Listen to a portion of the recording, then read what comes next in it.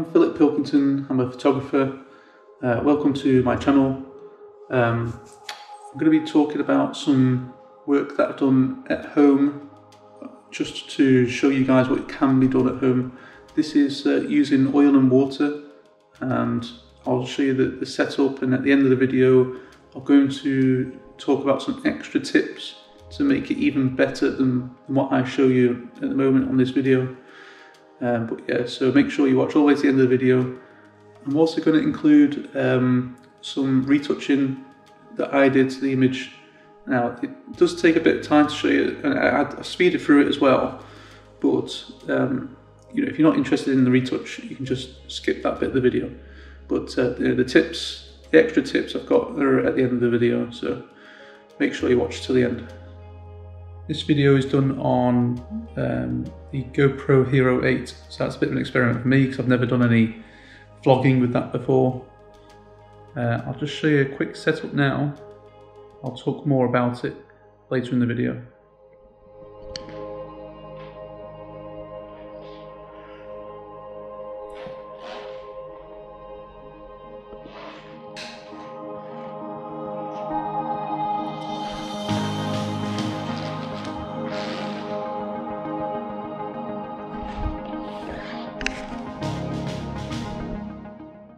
So what we can see is um, got a tripod that has this sort of arm that comes out. It's, it's a Manfrotto tripod, it's a 190, it's a X Pro 4, um, but it has the ability to pull this, the this bar can come out and go horizontal. So, because for this setup you need the camera pointing vertically down, so that's good for that. I've also I've put put that on the end, which is um, it's Manfrotto Magic Arm. That's just as a acting as a counterweight. Um, but I've also got these sort of Aputure. I it's uh, I can't remember what they're called now. It's an Aputure light. Um, so it's good. It's small. So that Aputure light is going to go under there when it's switched on I've got these coloured gels which are going to go over it. And then all you need to do is add some add some oil to the water and get some sort of quite nice abstract bubble shots out of it. Um, so I'll just show you how I set this up better and uh, yeah we'll go from there.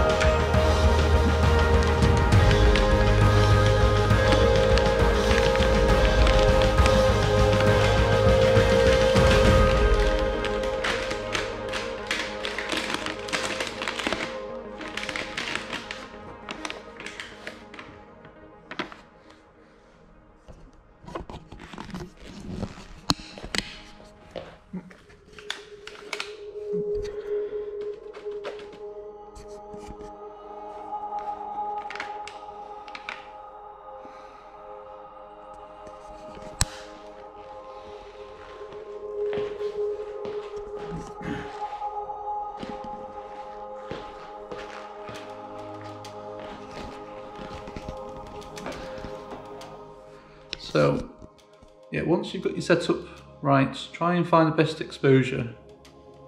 Then when you've got your exposure sorted, it's time to pour in some oil. So I've been using, I've been using olive oil, uh, but it's it's pretty simple really.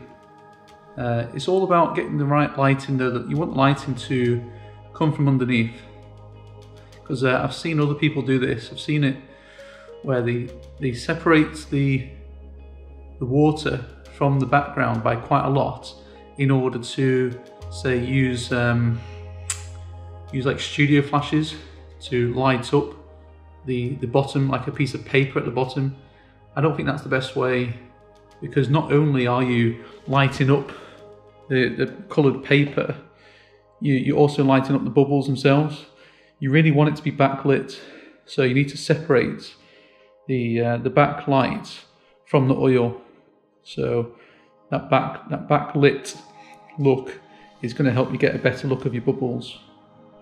Um, but uh, this is the setup.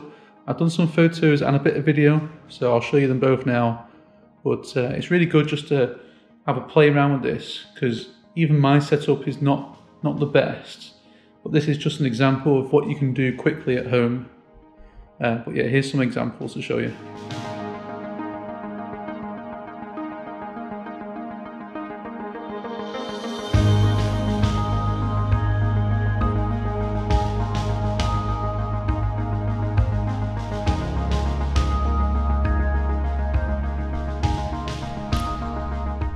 Okay, so what I'm doing is um, I'm just going to go through all the images that I took on the day. So you'll see some that are underexposed, some are overexposed, some are correct exposure.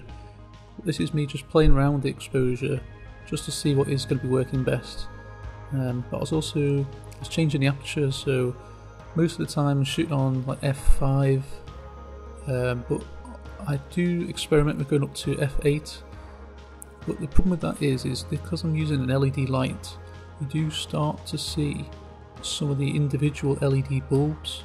So I probably, if you're using an LED light, I wouldn't go onto a aperture such as f8.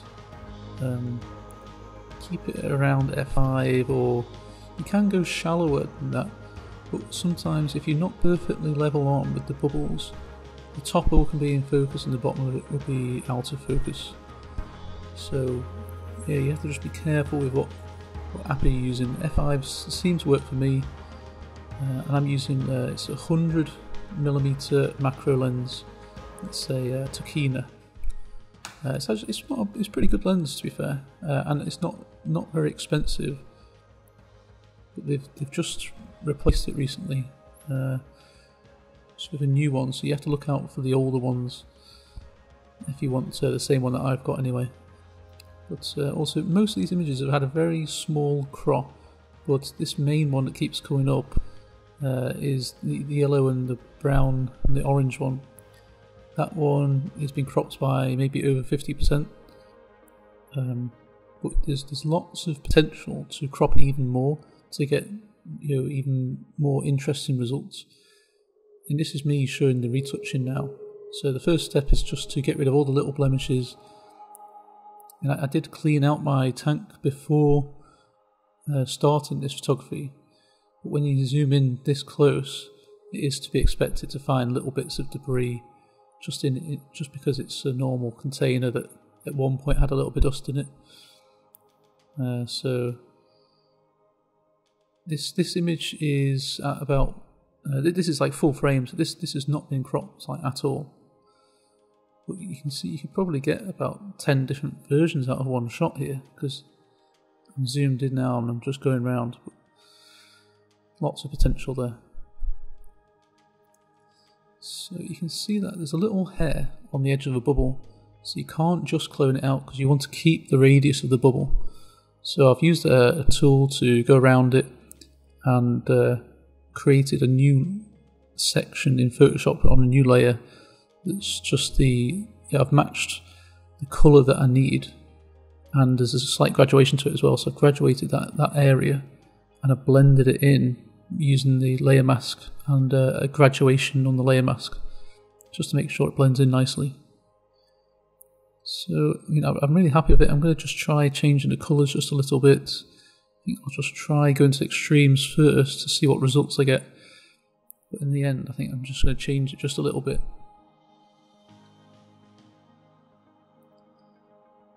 Uh, yeah, adjusting the levels slightly.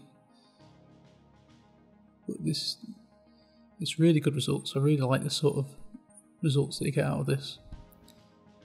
Yeah, one thing that I noticed is the smoothness of the graduation of the colours isn't as smooth as I want it to be. And to be fair, I'm not really sure why it's not so smooth. But it is fairly easy to make it smoother. I've just blurred another layer and then I'm masking out to make sure that I keep all the edges that are sharp because I don't want the edges to be blurred. It's just the center of these bubbles that I'm blurring now. Yeah, I think it's just going to help the overall look. Just the transition of colours look better.